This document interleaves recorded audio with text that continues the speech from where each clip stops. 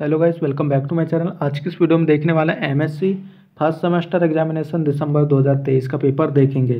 ठीक है, इससे पहले जो है मैंने 2022 वगैरह के पेपर भी अपलोड कर रखा है और जो है ये जूलॉजी का फोर्थ पेपर है। बाकी third paper first paper second paper सारे पेपर मैंने अपलोड कर दिया है। आप हमारे चैनल पर चले जाइएगा और एमएससी फ़र्स्ट सेमेस्टर जूलॉजी का एक प्लेलिस्ट मिलेगा। वहाँ सारी वीडियोस आप देख सकते हैं। तो फोर्थ सेमेस्टर का सॉरी फ़र्स्ट सेमेस्टर का है fourth paper biomolecular and structural biology का एक क्वेश्चन पेपर है। किस प्रकार आता है देख लेंगे हम। पासिंग अंक कितना है, वो भी आगे इस वीडियो पर देखने वाले हैं। तो चलिए भाई वीडियो स्टार्ट करते हैं और अभी तक की जिस भी बंधु ने सब्सक्राइब नहीं किया तो प्लीज़ सब्सक्राइब कीजिए इस चैनल को। नीचे आप कमेंट करके ज़रूर बताइएगा कि आप किस यूनिवर्सिटी से हैं, ताकि आपके यूनिवर्सिटी के क्वेश्चन पेपर भी हम अपलोड कर पाएँ। ठीक है तो सब्सक्राइब कर लेना है। बाकी सेकेंड थर्ड फोर्थ सभी सेमेस्टर क्वेश्चन पेपर इस चैनल पर आपको मिलेंगे। तो चलिए भाई वीडियो हम यहाँ पर देखते हैं। एमएससी फ़र्स्ट सेमेस्टर का है तो देख लेते हैं। क्योंकि यहाँ पर जो है तीन घंटे का समय दिया हुआ है भाई, चालीस अंक का पेपर है। हो सकता है आपकी यूनिवर्सिटी में यही पेपर अस्सी अंक का होता हो। ठीक है तो कोई दिक्कत नहीं है, अंक पर आपको नहीं जाना है। अंक तो कम ज़्यादा होते रहते हैं। हो सकता है दो अंक के प्रश्न आपकी यूनिवर्सिटी में पाँच अंक के बनते हो, दस अंक के बनते हो। या सौ अंक, हज़ार अंक, किसी के बनते हो क्या फ़र्क है? ठीक है, क्वेश्चनों को आपको देखना है। इस यूनिवर्सिटी में क्या होता है? पाँच विकल्प देख, विकल्प मतलब जो है, पूछे जाते हैं, क्योंकि प्रत्येक विकल्प जो है एक एक अंक का होता है। ठीक है, इस प्रकार पाँच अंक के विकल्प यहाँ पर पूछते हैं। तो आपको विकल्प भी देख लेना है, भले आपकी यूनिवर्सिटी में विकल्प ना भी पूछते हो। तो भाई वीडियो को आपको पूरा तो देखना ही है। तो क्वेश्चनों को भी देख लेना है और वैसे भी जो है आगे कंपटीशन में आपको विकल्प वगैरह की तैयारी करना है तो इनके जो है करेक्ट आंसर भी आप बता सकते हैं। पहला विकल्प है, सबसे सरल अमीनो एसिड है। सबसे सरल अमीनो एसिड है। क्या है? ग्लाइड ग्लाइसिन एलानिन एस्परजिन और टाइरोसिन करेक्ट आंसर बताना है हमें नीचे कमेंट करके। दूसरा यहाँ पर जो विकल्प है डीएनए द्विकुंडलित जो संरचना होती है, उसका व्यास कितना होता है? Two point four angstrom. अगला जो विकल्प है, वो देख लेते हैं। थ्री पॉइंट फोर एंगस्ट्रांग और सी नंबर पे बीस एंगस्ट्रांग, चौबीस एंगस्ट्रांग। करेक्ट आंसर बताना है भाई डीएनए के बारे का जो है डीएनए का व्यास। तीसरा यहाँ पर जो विकल्प है, कौन सा हार्मोन ग्लाइकोलाइसिस को उत्प्रेरित करता है? वृद्धि हार्मोन, इंसुलिन, ग्लेका, क्या है? ग्ले, ग्लेकगान, उपरोक्त सभी। ठीक है, अब यहाँ पर जो है नेक्स्ट विकल्प की और यहाँ पर नेक्स्ट विकल्प। चूँकि तीसरा विकल्प है, तीसरा विकल्प के बाद विकल्प का कोई पता नहीं है, सीधा यहाँ पर जो क्वेश्चन आंसर क्वेश्चन आंसर ही हम यहाँ पर देख लेते हैं, कोई नहीं अब।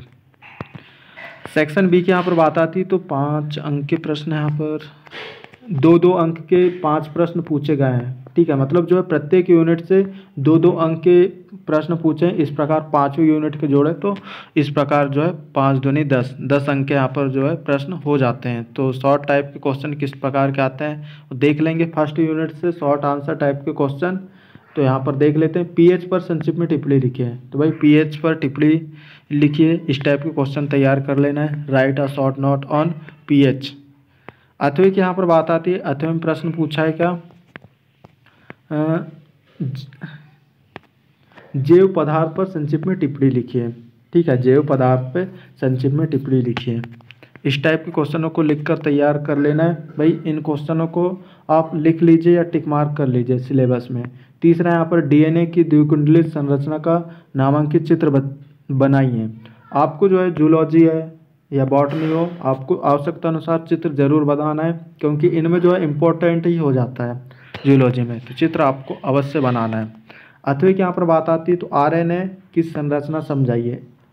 एक्सप्लेन स्ट्रक्चर ऑफ़ आरएनए तीसरे यूनिट से यहाँ पर प्रश्न इस टाइप के पूछते हैं। ग्लाइकोलाइसिस को समझाइए। एक्सप्लेन ग्लाइकोलाइसिस अथवा की यहाँ पर बात आती है? अथवा में क्या है? ग्लाइको नियोजेनेसिस पर टिप्पणी लिखिए।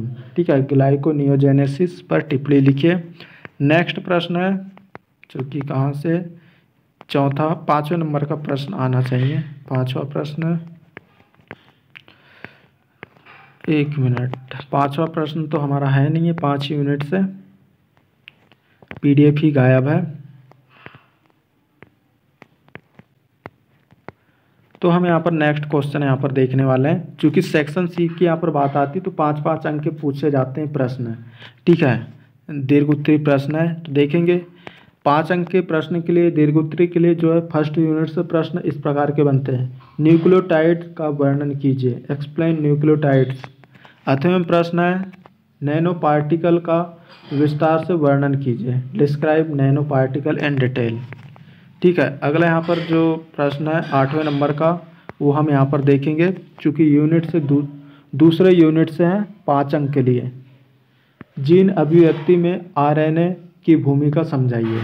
Explain role of RNA in gene expression अथवे में बात करें तो अथवे में डीएनए प्रतिकृति को समझाइए। एक्सप्लेन डीएनए रिप्लिकेशन इकाई तीसरा से आप प्रश्न आपके बनते हैं। ऑक्सीडेटिव फास्फोरिलेशन को समझाइए। एक्सप्लेन ऑक्सीडेटिव फास्फोरिलेशन अथवे में प्रश्न इस टाइप के बनते हैं। वसी अम्लों के बीटा ऑक्सीकरण की प्रक्रिया का वर्णन कीजिए। अब वहीं चौथे यूनिट से आ जाते हैं। ठीक है? चौथे यूनिट से प्रश्न किस टाइप के बनते हैं? तो नॉन इंसेंशियल अमीनो अम्लों का जैव संश्लेषण समझाइए। नॉन इंसेंशियल अमीनो अम्लों का जैव संश्लेषण समझाइए। इस टाइप के प्रश्न आते हैं। अथवे की बात आती है तो अथवे में प्रश्न है, कोलेस्ट्रॉल का जैव संश्लेषण समझाइए। पाँचवें यूनिट से प्रश्न है, चूँकि पाँच अंक के लिए, एंजाइम एंजाइम की नाम पद्धति एवं वर्गीकरण का वर्णन कीजिए। Describe the nomenclature and classification of enzymes Atham प्रश्न है एंजाइम प्रतिक्रिया प्रतिक्रिया के नियमन का वर्णन कीजिए। Describe the regulation of enzyme reaction ठीक है तो भाई ये इस टाइप के क्वेश्चन आपके आते हैं। तैयार आपको कर लेना है। चैनल पर नया है तो सब्सक्राइब कर लेना है। जिस भी शाखा बंधु ने सब्सक्राइब नहीं किया तो सब्सक्राइब करके एक लाइक कीजिएगा। एक कमेंट करके बताना है, आप किस यूनिवर्सिटी से हैं। ताकि आपके यूनिवर्सिटी के प्रॉपर क्वेश्चन पेपर हम अपलोड कर पाएँ। और स्क्रीन पर आपको दिख रही होंगी M S C zoology zoology की वीडियोस तो आप क्लिक करके देख भी सकते हैं वहाँ पर। ठीक है, बाकी आज के इस वीडियो में इतना ही। मिलते हैं नेक्स्ट वीडियो पर। Thanks for watching bye